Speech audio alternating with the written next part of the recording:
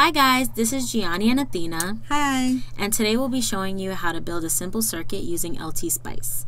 Keep in mind that we're using LT Spice on a Mac, so when we use our F keys, we'll have to hit the FN command key first. On a PC computer, you'll still use the F keys, but you won't have to hit the FN key first. To get started, we'll go to the File drop-down menu in LT Spice, hit New, and then New Schematic. You can open up a new blank schematic by hitting the command key and the N as well. And here we'll just expand this window. To get a drop-down list of our components, we'll hit Fn, then F2, and here we have a drop-down menu. Our battery will be listed as a voltage source, so we'll double-click that. And to paste it into our schematic, we'll just click where we want it, and there it stays. To exit out of our components, we'll hit the Escape key, and then we can get our drop-down menu again, Fn, F2, and here we'll get a resistor. We'll hit our first resistor and to paste it and then escape. There's also another way to get a drop down menu of our components. We'll go to, we'll right click, then go to draft and then component, click that and here we have a drop down menu. We'll get another resistor for our simple circuit. We'll have two resistors in series and we'll place our second resistor right below our first one so that'll be easier to adhere them with the wire. So now we have all the components and now we want to connect them all with a wire. So we're going to press the FN and then the F3 key.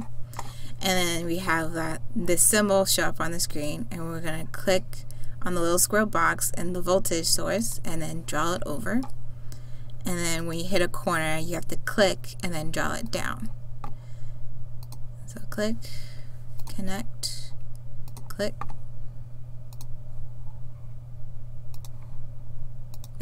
So now our components are connected in series to each other and we want to assign all our components with a certain value. So first let's get out of this by clicking on escape and hover our cursor over our component and make sure this little hand signal comes up on the screen. And so we're going to right click and we're going to have a column called DC value and we're going to put 5 volts and that you just leave the series resistance as 0. Our second resistor will have 1 ohm with our second resistor. Make sure the symbol shows up before you right click. And we're assign 3 ohms to this resistor. And so now all of our components are assigned a certain value. To conclude our circuit, we'll need to build a ground, especially if you're trying to run an analysis through LT Spice. To do that, you want it to preferably be on the negative side of our voltage source and also be after our resistance so it can run straight to ground. So we'll right click where we want our ground to be and hit label net and click the ground option and press OK. And here's the symbol for a ground on LT Spice. And here it is, our final simple circuit. Thank you guys for watching. Bye.